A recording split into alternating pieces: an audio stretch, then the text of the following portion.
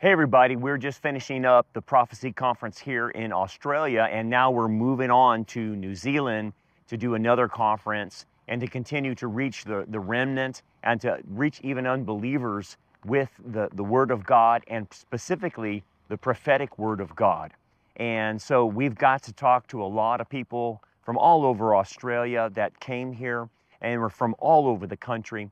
And uh, they, they were expressing to us uh, their appreciation for what Rock Harbor is doing, uh, uh, getting the messages out, because a lot of times they tell us that um, they don't have a good pastor, they don't have a good church. A lot of these people are, are displaced from their churches.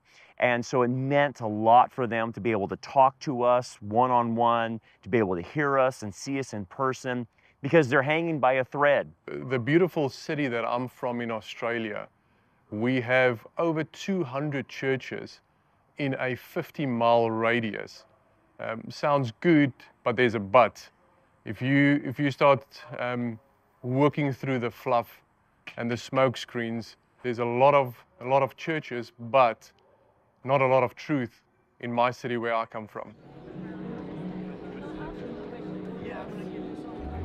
This is why we go out and, and do these international trips, be able to connect with the remnant, to, to, to, to be with them, because as you know, not only do they, they, they uh, watch us, but then they support us.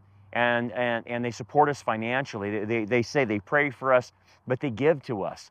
And they see us as their church. And so this meant a lot to them, and uh, we're going to continue to do these international trips to, to talk to the remnant, to reach the remnant, and, and encourage them to let them know that they're not alone, and then also to fuel them, to, to prepare them to go out into their communities here in Australia and in, and, and in New Zealand and share the good news of Jesus Christ and to share, hey, things are going down. It's, it's time, man. It's, it's tater chip, let her rip. It's time, it, things are happening to put the, the prophetic scenario in place, and uh, the time is growing short. So um, it was a great time, and I just want to thank you guys at Rock Harbor for sending us out.